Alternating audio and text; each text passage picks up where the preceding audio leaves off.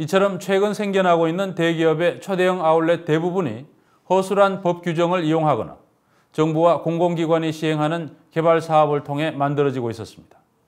정부가 중소자영업자들의 삶의 터전을 빼앗는 대형 유통재벌들을 견제하기는커녕 도와주고 있는 것입니다. 대형 유통업체의 아울렛 진출은 수도권 전 지역에서 빠르게 확산되고 있는데요. 동량은 못 줄지언정 쪽박은 깨지 말라는 말이 있는데 정부가 이런 정책을 유지한다면 중소상인들의 생존은 조만간 벼랑 끝에 몰릴 전망입니다. 이어서 유원중 개공 기자가 보도합니다.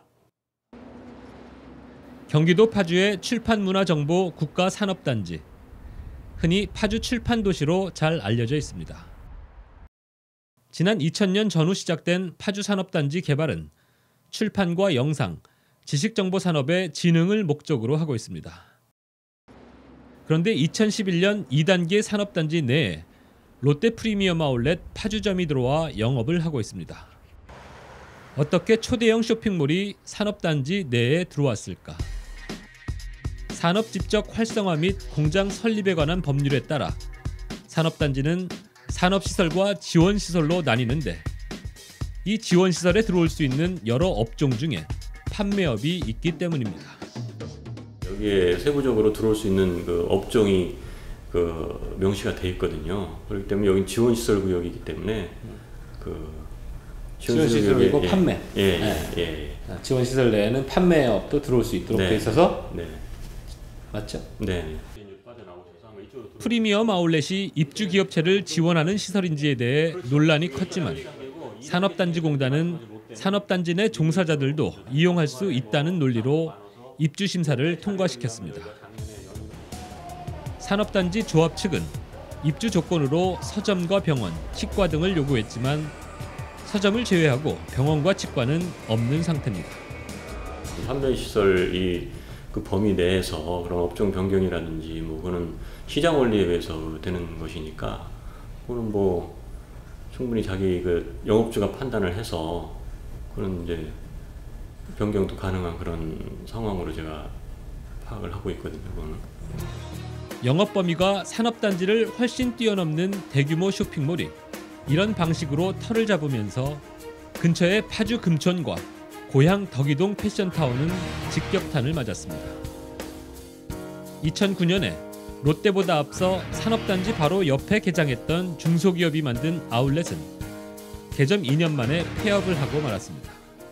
중소상인들이 애써 피땀 흘려 뭐긴 세월 동안 만들어 놓은 건 지금 대기업들이 사실 판 크게 벌려고 투자해서 뭐 무슨 돈 넣고 돈 먹게 하는 거죠 지금 다 쓸어가는 거지. 내년 초 개장을 목표로 공사가 한창인 현대 1호 프리미엄 아울렛 김포점. 이 아울렛도 한국수자원공사가 개발한 김포터미널 물류단지에 만들어지고 있습니다. 여기에서 10km 떨어진 김포시 장기동의 패션타운. 100여 개 매장을 운영 중인 이곳 중소상인들도 대책 마련을 호소하고 있습니다. 파주에서도 그랬고 여주 이천에서도 그렇고요. 지방에서도 그렇고 명품 아울렛은 불과 20% 안, 안짝으로 전개를 하고 나머지 대부분을 중소상공인들이 운영하고 있는 이런 그 국내 브랜드 위주로 전개를 하고 있어요. 그렇게 해서 수천억 원의 매출을 달성하고 있는데 저희들은 다 망할 수밖에 없는 게 현실입니다. 문제는 이처럼 최근 생겨나고 있는 대형 아울렛들이 대부분 정부나 공기업이 시행하는 개발 사업의 일부로 개장하고 있다는 겁니다.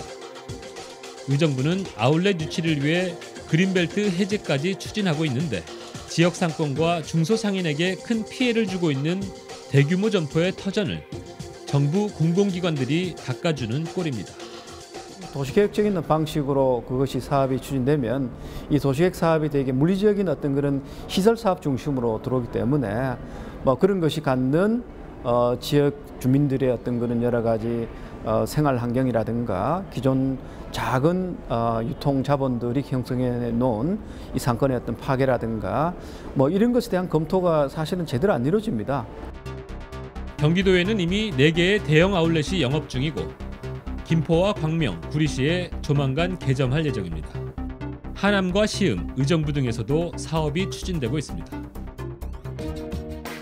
그야말로 대형 아울렛 개발 붐이 일고 있는 건데 과연 지역 상권이 살아남을 수 있을진 의문입니다. 롯데 아울렛이 들어오는 과정을 쭉 지켜봤을 때 법도 약자를 보호하지 못하고 지방 정부도 지역 상권이나 중소상인은 안중에 없다는 사실을 진짜 뼈저리게 느꼈습니다. 결국 그동안 정부가 동반 성장이니 상생이니 이런 걸 강조했지만 결국 말뿐인 헛구호라는 생각을 하지 않을 수가 없습니다. 뉴스타파 유원중입니다.